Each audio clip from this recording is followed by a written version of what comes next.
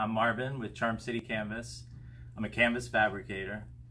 Um, our, our job entails going out to the boat, taking patterns and measurements, um, coming back with the pattern or measurement, cutting it out, sewing it, and then going to the boat to install it.